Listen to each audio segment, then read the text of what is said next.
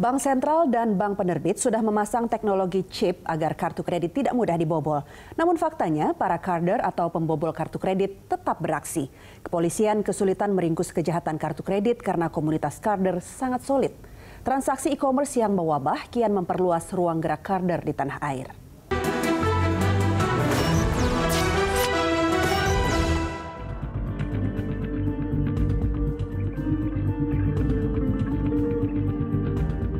Carding atau kejahatan kartu kredit sudah dikenal di Indonesia sejak beberapa tahun silam. Para pelaku mencuri nomor kartu kredit milik orang lain untuk membeli aneka barang dan jasa. Kami menemui seorang karder yang telah malang melintang lebih dari 14 tahun membobol ribuan kartu kredit di dalam maupun luar negeri. Saya start mulai masuk ke dunia carding sekitar tahun 2002 saat itu di tahun 2002 komunitas carding kita itu sangat banyak. Nah di situ waktu itu kita masih menggunakan sistem MIRC. Jadi di sistem MIRC itu kita membuat sebuah komunitas di mana kita posting hasil jarahan-jarahan kartu kredit kita di situ. Setiap member yang masuk di situ bisa mendapatkan kartu kredit dengan gratis. Bahkan mereka bisa mencoba uh, semua kartu kredit yang diposting di situ untuk berbelanja online. Kalau untuk kelasnya kita udah internasional karena yang kita hasilkan uh, itu lebih dari minimal. Kita kemarin bisa sampai sekitar 600 juta lebih. Sehari? Dalam sebulan. Kejahatan kartu kredit sudah jadi kejahatan lintas negara Sebagian kasus bahkan dilakukan sindikat internasional. Polda Metro Jaya baru-baru ini membongkar aksi seorang warga negara Malaysia membobol kartu kredit warga negara Indonesia. Misalnya yang terakhir kemarin tanggal 7 uh, eh, Agustus, bahwasannya si WNA ini uh, memang membuat kartunya uh, pemalsuannya segala itu di sana di Malaysia. Uh, kemudian Eh, setelah jadi kartu kemudian dibawa ke Indonesia untuk melakukan transaksi. Kita ketahui bahwasanya yang bersangkutan sudah membelanjakan kartu kredit ini sebanyak uh, 13 uh, tiket perjalanan ke luar negeri. Uh, kemudian dari tiket itu kemudian difoto, dikirim ke melalui WeChat, dikirim ke uh, Malaysia. Ya, ini memang kejahatan uh, dunia uh, transaksi elektronik ini Eh, sebagian besar melibatkan sindikasi internasional. Ya, jadi uh, apa yang terjadi di Indonesia itu bisa saja uh, diatur atau di uh, di orchestrate itu oleh sindikasi-sindikasi uh, dari luar negeri ataupun sebaliknya. Berbeda dengan karder asal Malaysia yang diringkus polisi, Budi tetap eksis sebagai karder meskipun diburu Interpol dan kepolisian. Saya pernah membobol sebuah toko dengan dia memiliki sebuah sistem. Saya berhasil masuk ke dalam ya, ya toko Itali itu dia jual jual bir minuman minuman bir. Saya masuk di dalam sistem database-nya. Di situ saya lihat transaksi dia terlebih dahulu. Sehari itu dia transaksi ada berapa.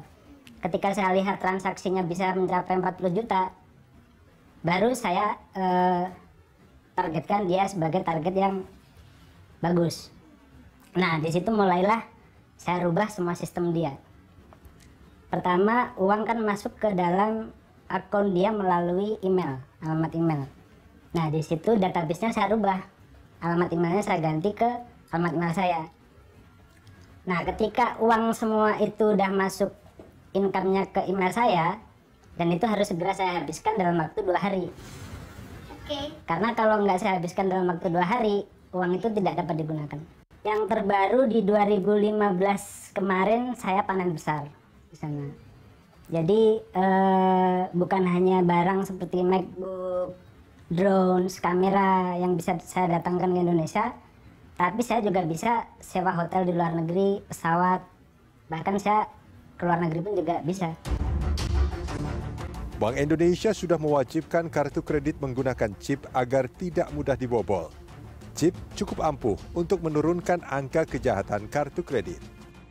Sampai dengan saat ini, hari ini teknologi chip itu belum bisa dikopi. Belum bisa dikopi. Jadi uh, di Indonesia kebetulan semua transaksi harus menggunakan chip. Jadi uh, sangat kecil kemungkinannya bahwa kartu tersebut terjadi penggadaan kartu fisik secara fisik. Bank penerbit kartu kredit sudah mewanti-wanti pemegang kartu agar transaksi online aman. Pemilik kartu kredit misalnya harus teliti dan memastikan situs e-commerce tempat berbelanja mengaktifkan 3D Secure. Ini langkah perlindungan kartu kredit, di mana setelah mengirim informasi kartu kredit saat bertransaksi, pemilik kartu diminta memasukkan OTP atau One Time PIN berupa nomor PIN acak yang dikirimkan ke ponsel pemilik kartu. Tahapan tambahan ini penting karena untuk bertransaksi online tak banyak data yang dibutuhkan. Calon pembeli hanya membubuhkan 16 digit nomor kartu, expire kartu, serta CVV yang semuanya tertera di visi kartu. Meski pengamanan kartu kredit semakin canggih, Carder selalu punya jurus menjebol kartu kredit. Kalau di total bisa lebih dari 1000 kartu kredit. Bahkan kalau untuk sekarang pun masih ada data-data yang tersimpan itu. Hmm, jadi sometimes bisa kita ambil, bisa diambil bisa kita ambil, bisa kita gandakan lagi, namanya generate, generate kartu kredit, dan bisa kita pakai apa pun. Gandakan itu seperti apa pemaparannya? Generate itu misalkan kita punya satu kartu kredit valid dengan 12 digit, nah kita bisa gandakan dengan teknik uh, algoritmanya. Jadi kita bikin sebuah sistem mesin yang penghitungannya nanti sama dengan kartu kredit aslinya. Jadi sebenarnya gini, ketika mereka update, itu sebenarnya masih ada celah lain. Karena seorang hacker atau carding itu adalah dasarnya orang yang penasaran. Ketika pintu satu ditutup, dia pasti akan mencari pintu satunya lagi. Nah, di sanalah ketika kemarin yang saya tembus itu adalah sistem yang digunakan beberapa ratus perusahaan. Dan itu ada source-nya juga di Google juga tadi. Nah, ketika saya pertama udah berhasil membobol, besoknya dia pelajarin, dia update, saya kan juga nggak mau kalah. Saya bisa pelajarin lagi, mana lagi yang ada celahnya kan gitu. Karena pada dasarnya itu juga buatan manusia. Sejak merebaknya e-commerce di tanah air, Carder kian eksis memanfaatkan jasa pembelian dan pembayaran melalui kartu kredit. Data Bank Indonesia bulan Mei tahun 2013 terjadi 1009 kasus pembobolan Laporan ini datang dari 18 bank penerbit dengan kerugian mencapai 2,37 miliar rupiah. Ketika memang itu dibobol oleh mereka, Mbak, kita selalu bisa mengungkap. Dalam arti ada beberapa yang kita bisa ungkap. Ya, seperti yang kita ungkap kemarin juga bulan kita bulan April. Jadi si pelaku ini eh, menggunakanlah kartu kredit salah satu bank digunakan untuk melakukan transaksi di eh, belanja online.